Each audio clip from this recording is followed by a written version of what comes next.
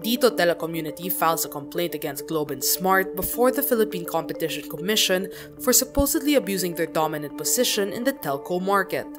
Dito Chief Administrative Officer Adel Tamano claims only 3 out of 10 calls made by Dito subscribers connect to Globe and Smart. Dito is accusing Globe and Smart for preventing their competitors from growing within the market by behaving in an anti-competitive manner. Under the Public Telecommunications Policy Act, interconnection agreements among telcos are compulsory. In a statement, Globe reiterates that it has always advocated for fair business practices and competing on a level playing field.